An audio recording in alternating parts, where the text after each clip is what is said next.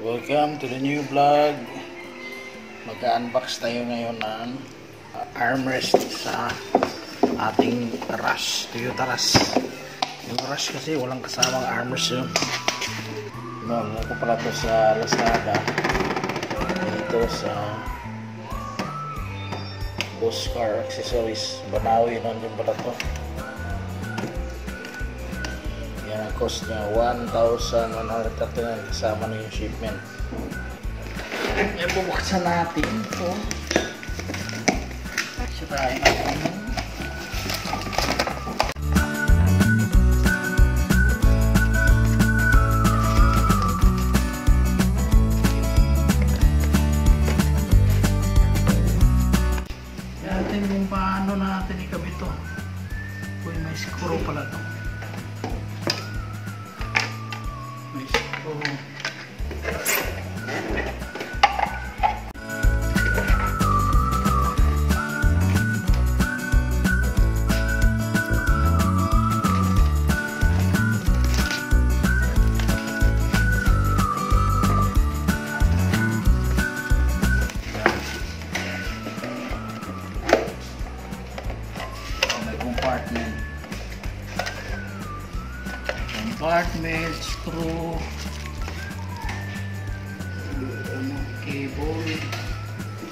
cable para sa charger siguro to.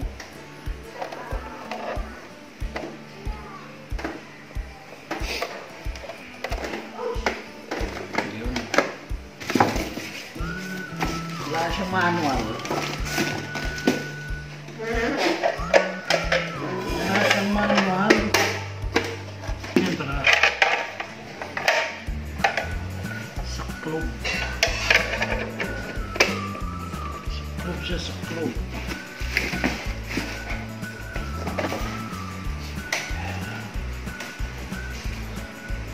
Screw may maliit. May maliit. Maliit na straw nilagay.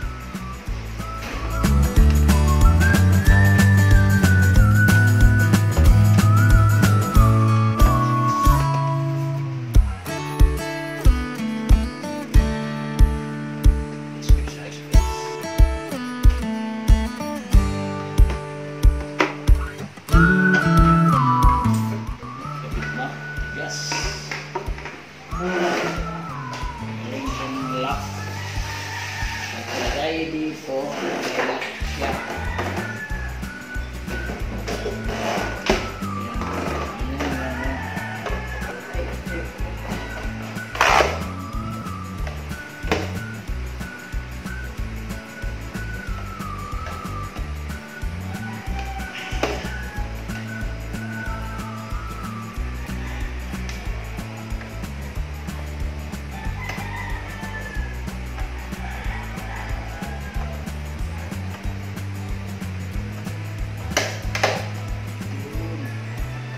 isa, may isa. Sinlock.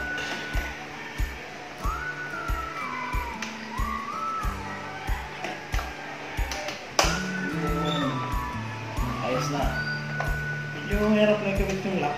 Basta maliit lang yung kamay mo kasi ilang yung baso. Yan. Kaya na lang. Finish. Yan na siya.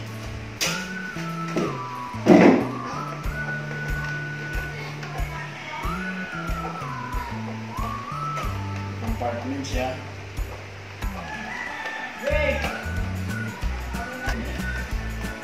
Ah, may USB port din. USB 1, 2, 3, 4, 5, 6, 7, 8. Siguro ito sasakan sa power.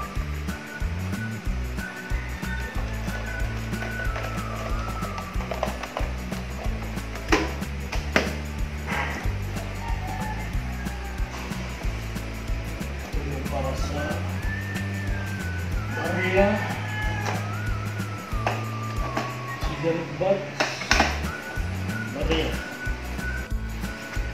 Ito na siya. Lagay na natin sa ating sasakyan. Ayan. Lagay na siya. I-fix na natin sa ating sa sasakyan. Ayun. Ayan siya. Nakalagay na siya. Ang maganda. Testing natin. Oh, look.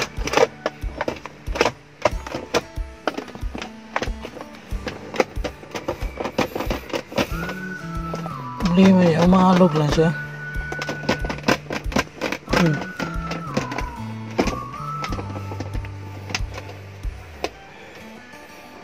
Yan ang poro niya. Ano lang niya, umalog siya pero pwede siguro na screw dito sa ilalim mo sa gilid para hindi siya umalog. Yan, alog talaga yan. Siyempre nakapatong lang, makalog. Yan. Yan, kabit na. Tsaka itong pakakabit ko lang din itong kuhan dashboard cover nasa 900 lang yata ito mahigit bili ko sa, sa Lazada din. Ah sa Shopee pala. Sa Shopee ko binili ito nalalagay ko lang last week. Yung wire na padalang wire para pagbigay power sa USB port. Saksak natin dito. Sa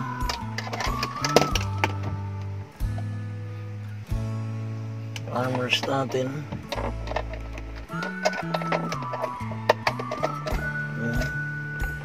Tsaka dito sa ating USB